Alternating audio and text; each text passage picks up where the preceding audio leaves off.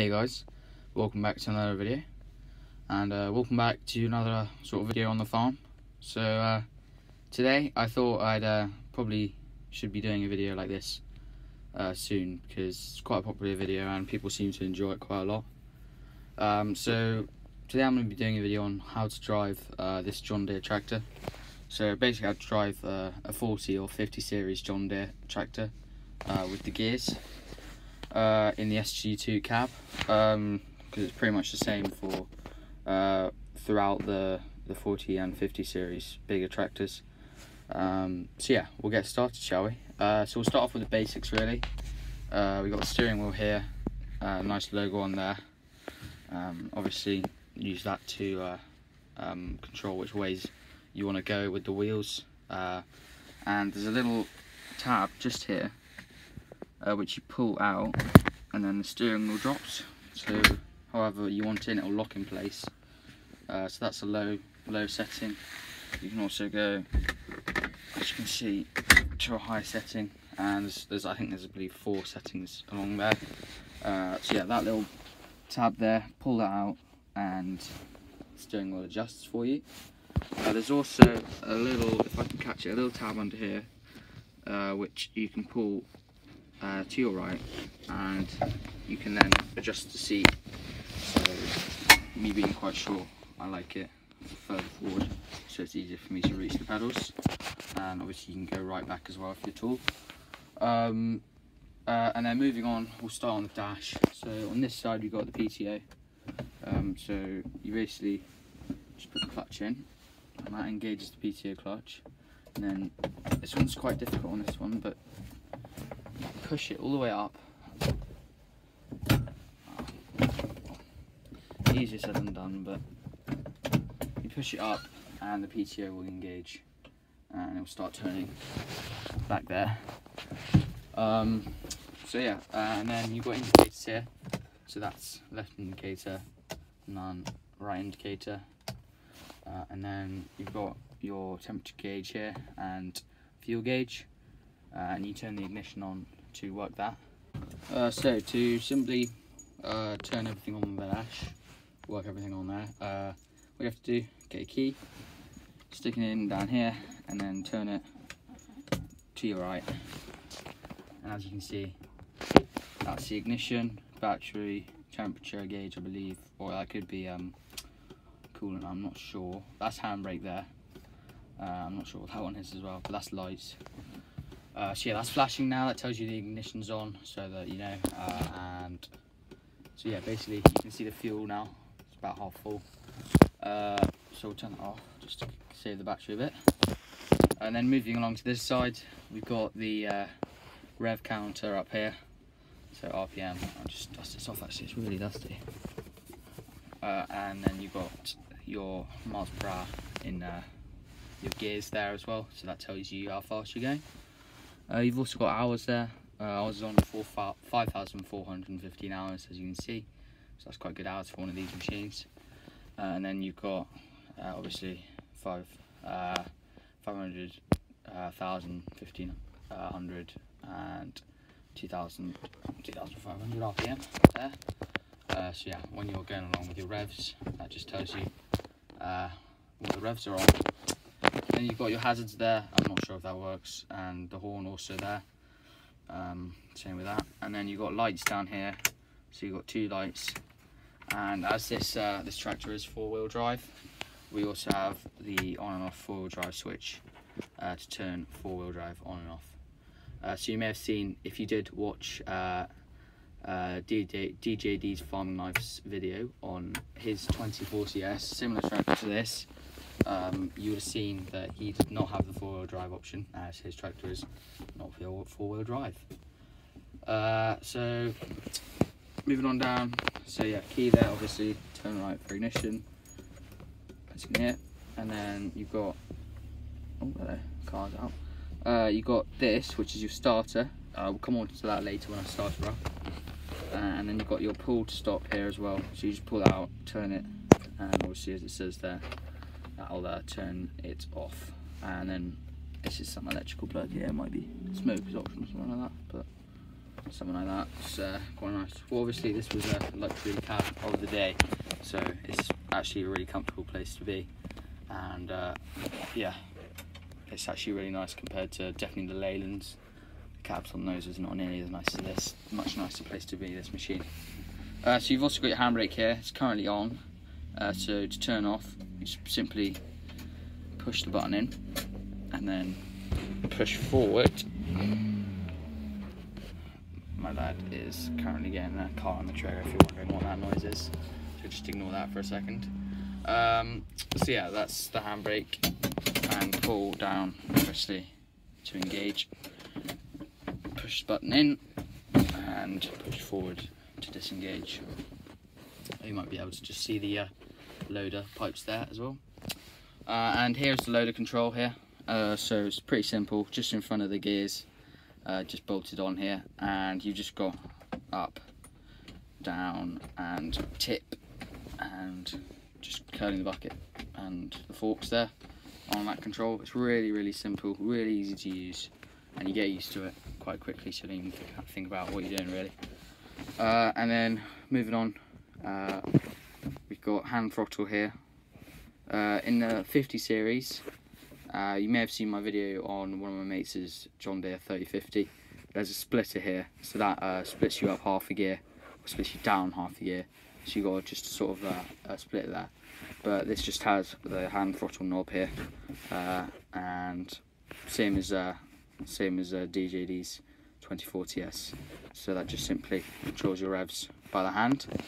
Uh, now that was not on uh, DJD's uh, 2040S is the gears up here. So on his, the gears are down in the middle here, and for this tractor and the 50 series, there's just uh, a good bar there.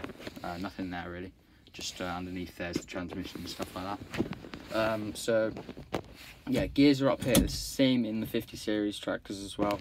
It's a really nice configuration, really easy to use, very easy control to do.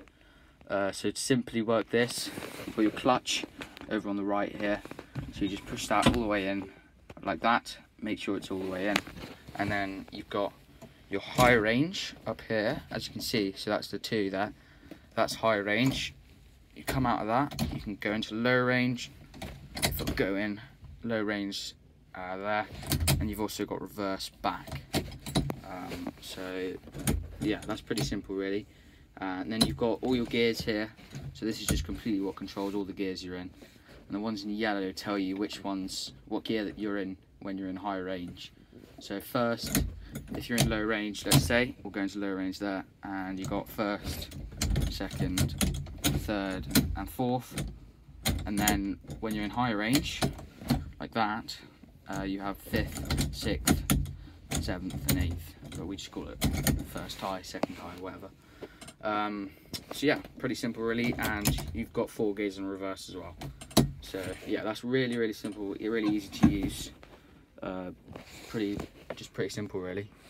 Uh, and then you've got your links. Moving back here, got your links up uh, just down here.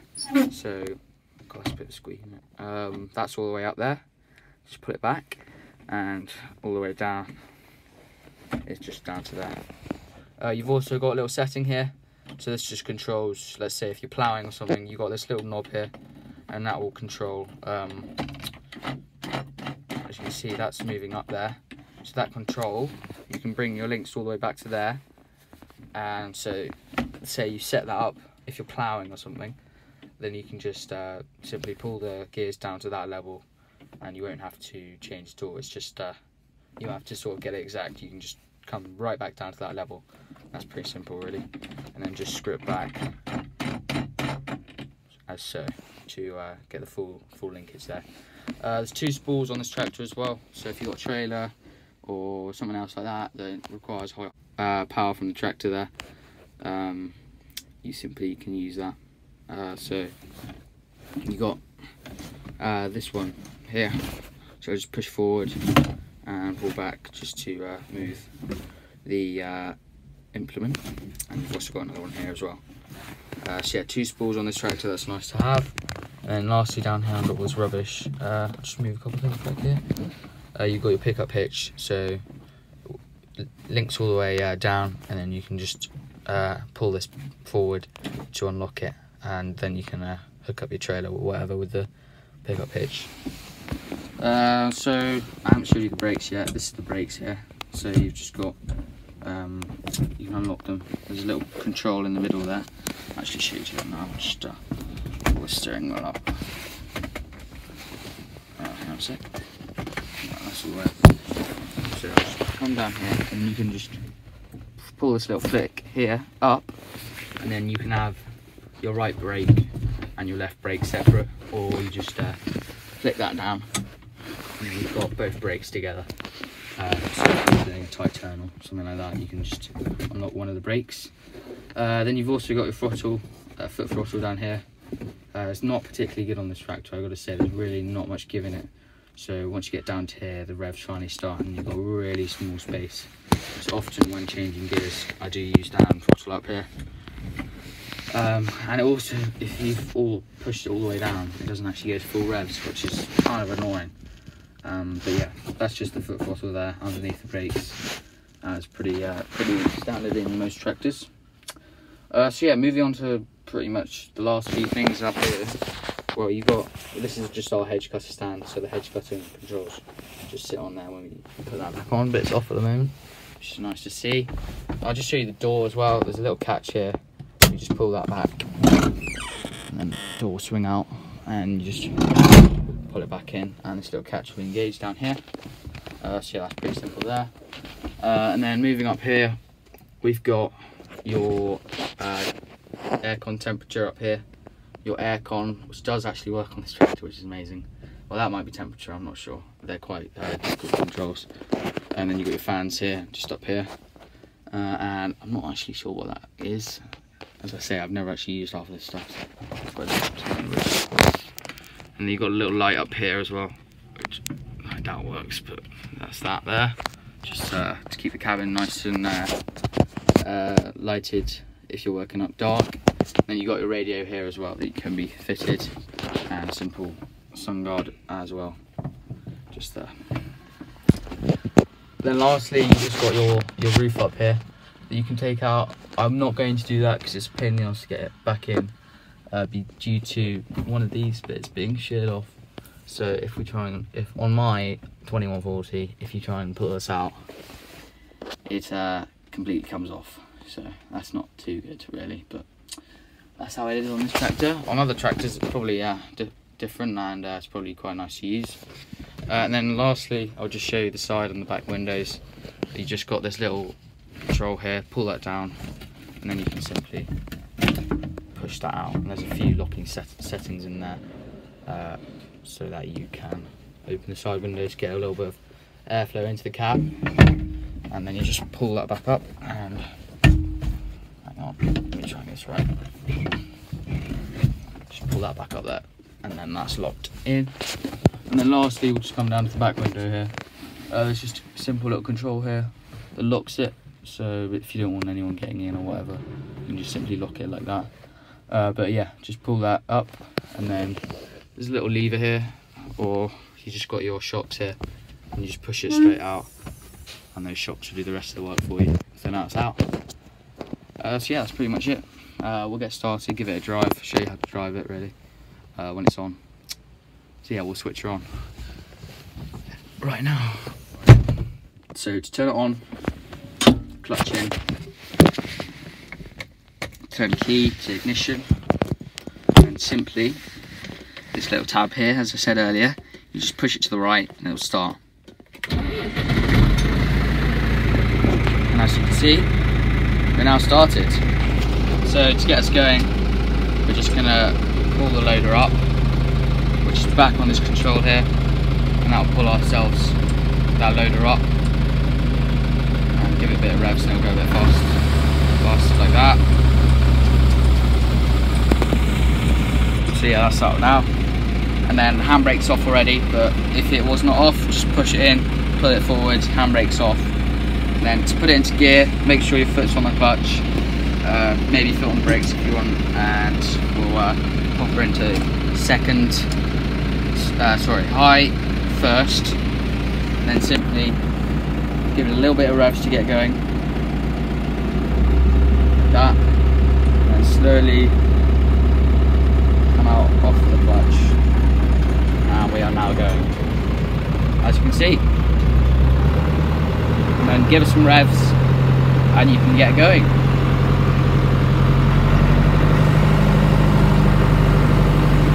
so I'll just do a quick demonstration on how to change up your gears. Uh, so we're in, currently in high, we're into first, give it a bit of revs, slowly come out the clutch, and off we go. Now I'll use the hand throttle here just to get us into full revs. So come up the revs, we're into full, clutch in, back in second, And give her a bit of revs again. That's how you change gear, pretty simple really. And come up to third.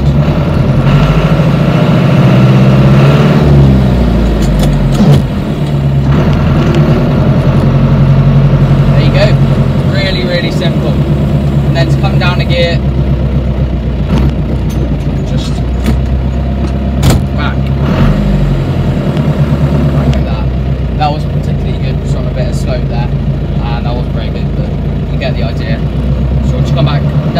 first step, clutch in,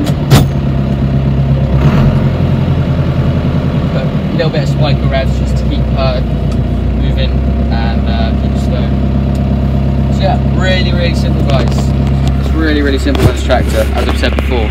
Uh, and we want to get in this gate here, so we'll guess uh, I'll do a bit of reversing, so for you guys, hopefully you don't muck it up. And uh, we'll just uh, put it back into reverse here. Bit of revs to get her going. And back we come. Make sure you're looking behind. Just check where you're going. We're getting in there obviously. I'll just take the window out as well apply a bit of steering when needed. So we're just going to steer up this little section here. And then we'll push the clutch in as we're good to go. Get our steering correct. And we'll come back into high, into first, and then we can slowly come out the clutch. And we'll get in this gate here, as you can see. It's a bit slidey as well, so I'm just going to try and stay on the grass as much as possible, stop sliding. So yeah, there you go guys. I'll pop the GoPro on just to show a bit of filming of me uh, just sort of driving how I normally would. That is pretty much about it with this tractor. It really is really simple. Uh, a lot simpler to drive, well I'd say, than any other new tractors. Uh, so yeah, I'll pop the GoPro on there on the edge and uh, we'll give you a quick uh, little video of that. To come into neutral as well, simply clutch in, foot on the brakes to stop and then bring the gears back to neutral and slowly out the clutch just check you're not in gear and there you are. If you want to park up, handbrake on, there you go. You're parked. Not tractor's not going anywhere. Hopefully, if unless your uh, handbrake's buggered. So I'll pop the GoPro on the head, and uh, we'll get a bit of filming of that.